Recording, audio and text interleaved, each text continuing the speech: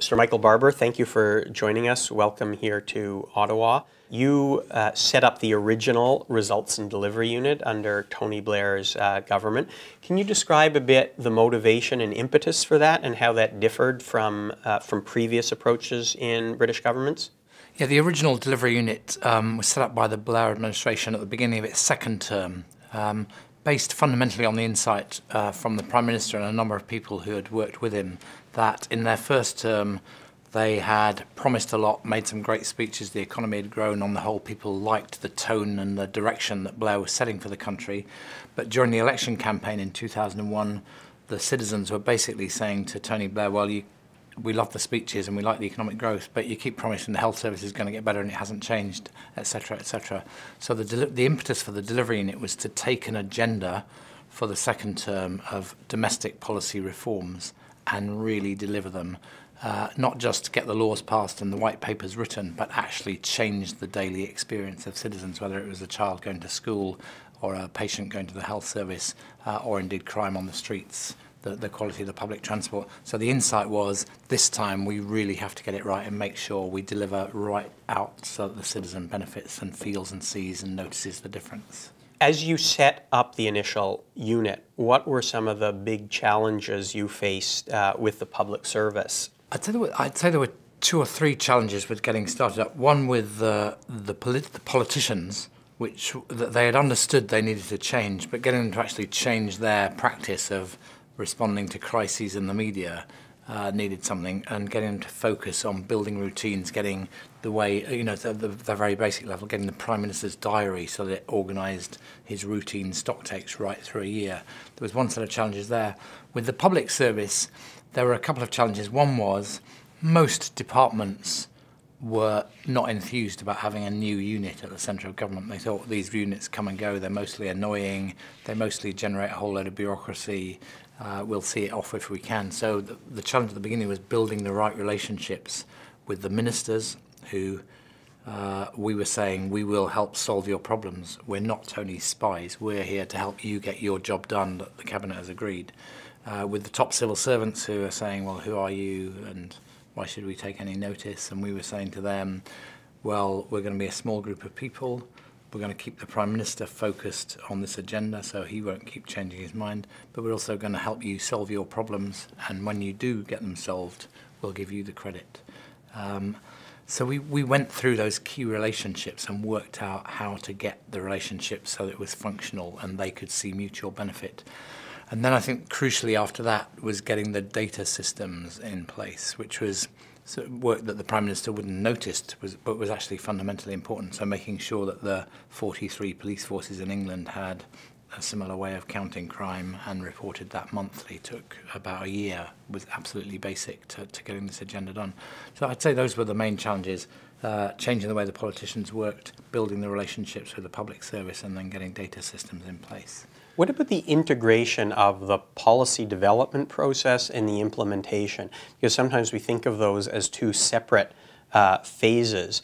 Uh, uh, how did you go about integrating those, and was that a challenge as well? It was a challenge, um, and it did need some work. And the key to it was was a combination of um, over time putting the data system in place and, and, uh, and secondly having these routine checkpoints, we call them stock takes, where every two months Blair was meeting, for example, the Secretary of State for Health or the Secretary of State for uh, Education and reviewing progress towards the goals that had been set. And those review meetings, in effect, became policy development meetings and implementation meetings. So you, you get a plan that's good enough, you start implementing, you see what happens. The stock take comes up and you say, this is working and this isn't working so well, or it's working in these places and not in those places. And then you adjust and refine the policy as you go. Um, the, the, one of the critiques uh, of the British government when it fails is that in those cases there was, um, uh, I'm quoting um, some political scientists here, a deficit of deliberation. I think what we put in place was serious deliberation, evidence-informed debate. Between the Prime Minister and Minister and their advisers, uh, and then a decision. So the policy got continuously refined. And a mistake we made at the beginning of the delivery unit that I think uh, can be avoided here and elsewhere is you don't need to get delivery plans perfect at the beginning. You just need to get them good enough, get started, and then once you've got your routines in place, those plans can be reviewed, refined, and improved as you go. And that does integrate policy and implementation. What about the data and indicators, though? Is, uh, is it crucial to get those right at the beginning, or is there a risk that you kind of go through a process and you realize you can't actually measure or report on what, uh, what you're trying to achieve? I think I mean, you, you need to get the best you can to get started, but you will find sometimes that the data systems uh, that you've got uh, are not good enough and you need to refine them over time. I think um, one thing is some of the goals that get set, climate change would be a good example in Canada or in other parts of the world, is you set a goal for emissions um, in 2030 that's a long time off. How would you know in 2018 or 2019 whether you're making progress towards that 2030 goal? And it may not just be on the overall um, emissions metric. There may be other things that you need to see that you've put in place. Um, so, for example, I did some work with some big American public university systems. They're trying to improve their graduation rates, the six-year graduation rate. Um, but if you're a, if you're a student in semester one of year one, what what do we know about what happens in semester one, year one, that will indicate whether that student's on track to graduate in six years or not? And we discovered that if that student goes to the library, gets trained in how to use the library, and starts using the library in the first month, that's a good indicator they're on track to stay. If they don't do it, it's an indicator they're on track to drop out. That's something you can do something about. So I think in these areas where you've got a long-term goal, working out what the lead indicators are, what are the things you can do something about in the short term that will help you. Give you another example from Punjab, Pakistan. We're trying to reduce infant mortality. We know that one thing associated with infant mortality in the long run is whether there's a skilled birth attendant present when, a, when a, an expectant mother gives birth. That's something we can do something about. We are making progress. So that tells us we don't yet know what's going to happen to infant mortality, but it tells us we're probably on track to reducing infant mortality. So I think thinking through the data system, not just in the headline goal, but the lead indicators that would tell you whether you're on track is really important. And only with those can you refine the policy. The UK is, has a different system of government than Canada, and uh, we live here in a federal system where provinces and territories have many of the levers. Sometimes the federal government has few policy levers on some of the things that we want to impact. Uh, how do you think uh, a delivery approach uh, works in a federal system like Canada's?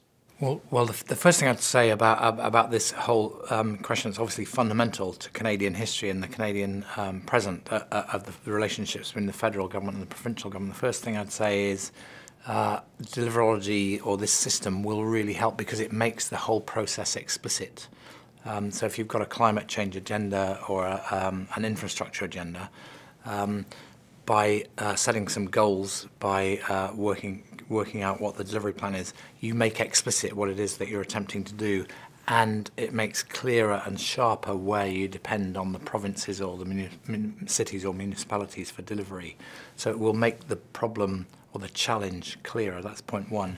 The second thing is, um, while while Britain, or at least England anyway, is, is more of a kind of unitary system than, than you have in Canada, actually you do need to think through, even in a unitary system, how you're going to engage people at every level in the system, whether it's um, teachers and uh, school principals and school boards in the school system, uh, or whether it's uh, provinces and federal government and uh, uh, municipalities, provinces and federal government collaborating on changing infrastructure or transport or housing or whatever it might be.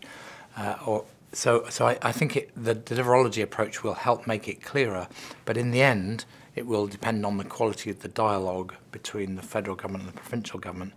And over and above that, the appeal the federal government makes to the people of Canada and the extent to which the people of Canada are saying to their provincial governments as well as the federal government, yes, this is what we want to do. Uh, we, we do want to see that happen. We would like Indigenous people to have better opportunities and close that gap. We would like to have better public transport in our big cities, and we do want it delivered as soon as possible. So we want you to solve these problems, um, and we don't want you to turn it into uh, one of the many standoffs in Canadian history between the provinces and the federal government. So I think there's two levels of this. There's the quality of the relationship between the, the, the, the federal government and the provinces, and then there's the relationship between the federal government and the people of Canada and whether they're really uh, demanding that the agenda that the government was elected on is actually delivered. If they are, the provincial governments will know that, and that makes it more likely the negotiation will succeed. Thank you very much, Sir Michael. Thank you.